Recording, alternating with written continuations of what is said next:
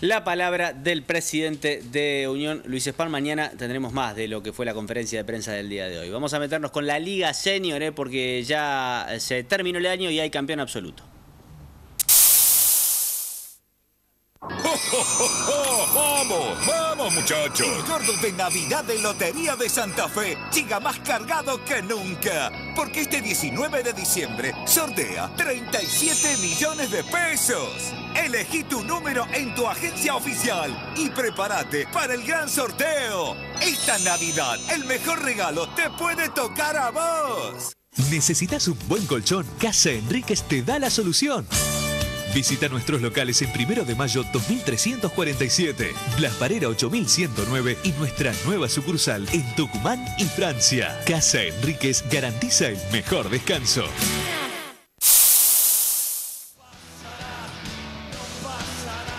Bueno, eh, había salido campeón del torneo Clausura, eh, en- ganándole a Unión, y en este caso también se quedó con el campeonato absoluto tras vencer al campeón de la apertura, que fue Colón. Un gran año para este San Lorenzo, que se transformó así en el mejor equipo del año en la Liga Senior.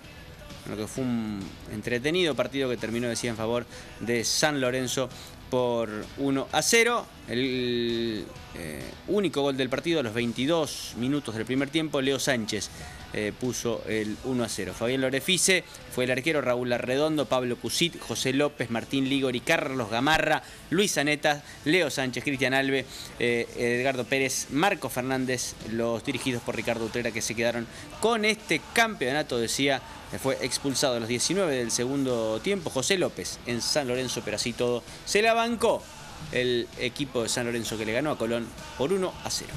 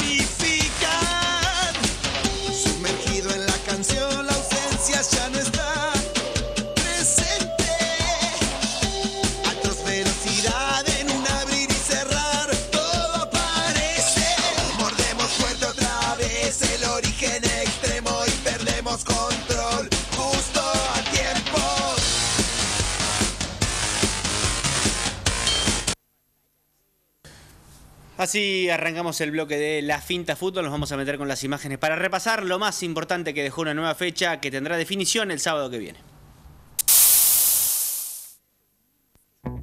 Hacer el súper más cómodo de la ciudad, más amplio, moderno y completo. Con frutas y verduras siempre frescas, una carne que todos elogien, roticería de primera, una bodega completísima y empleados orgullosos de representarnos.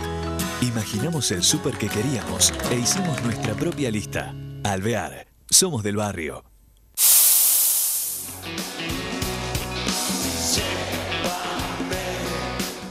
Allí vemos eh, imágenes de la finta, decía, para repasar primero los resultados eh, de la eh, primera división, lo único que sigue disputándose, en donde la sobrina empató 1 a 1 con la 84 y dejó de ser líder en soledad.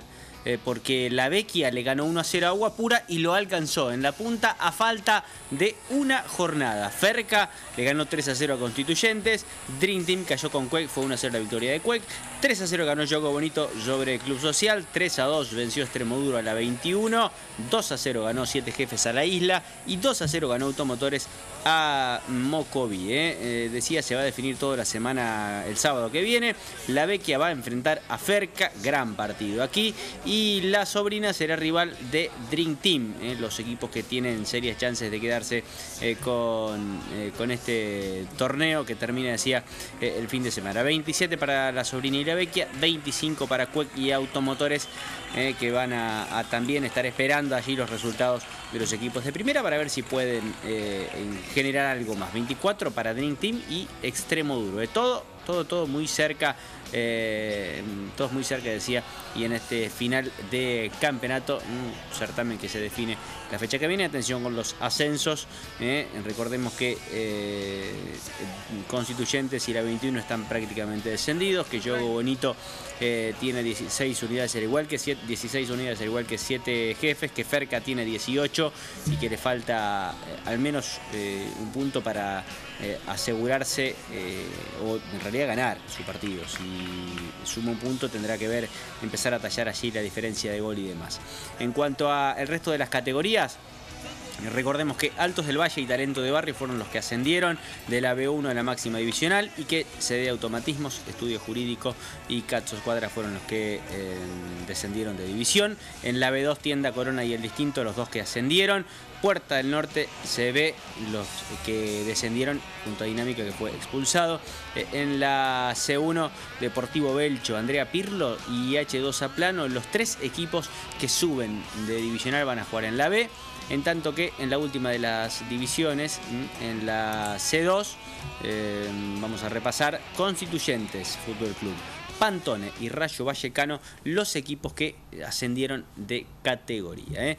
Vamos a meternos a seguir con el fútbol, eh, vamos a meternos con lo que tiene que ver con el fútbol infantil de Pucará, certamen que se juega habitualmente en esta época del año y a la noche, para repasar lo más importante.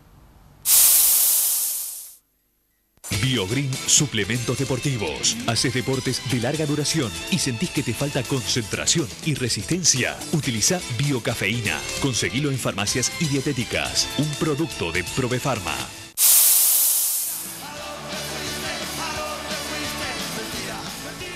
Bueno, muchos chicos jugaron en Pucará en este torneo infantil. Eh, que tuvo definición en cancha de Pucará.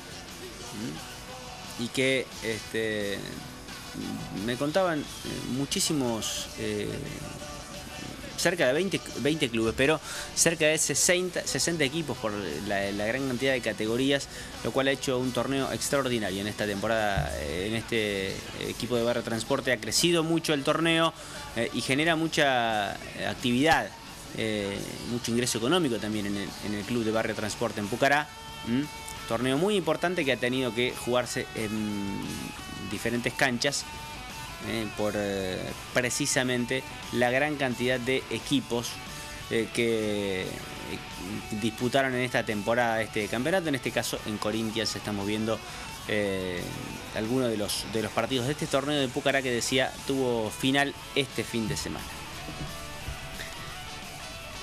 Alejandro Vázquez es el eh, coordinador, el organizador de este tipo de campeonatos, de este campeonato de Pucará, y a él vamos a ver y escuchar.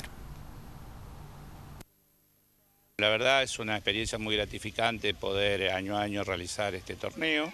Eh, no es fácil para una institución como nosotros, bastante humilde, pero bueno, estamos muy satisfechos con el comienzo que ha tenido, con la cantidad importante de equipos que se han presentado, mucha gente de, de fuera de la ciudad, tenemos gente de Neuquén, de Salta, de Santiago del Estero, de provincia de Entre Ríos, de toda la provincia de Santa Fe, desde San Lorenzo en el sur hasta Las Toscas y Obligado en el norte. Eh, realmente una convocatoria muy interesante, ¿no es cierto? ¿Por qué crees que tanta gente de diferentes puntos del país elige venir aquí a disputar este torneo? Eh, primero porque creo que Santa Fe tiene buen nivel, ¿sí? Eh, lo cual eh, le genera la, expectativa de, venir a competir con equipos que presentan buen nivel como son los de la, los de la Liga Santafesina. Y bueno, y después porque es un torneo que ha ido creciendo año a año y que eh, afortunadamente ha terminado satisfactoriamente. Justamente en lo que es materia organizativa, ¿a partir de qué momento se comienza a desarrollar y a organizar todo este torneo? Y prácticamente termina una edición y tenés que empezar para la otra. Obviamente se intensifica durante los últimos tres o cuatro meses, pero eh, vos termina una edición y empezás a, invitar para el próximo, empezás a mover contactos, a tirar hilos. Eh, vos ves lo que es este predio, también la cancha de Pucará, que está dividiéndose en las dos sedes, y ves la cantidad de chicos que hay, realmente asombrosa.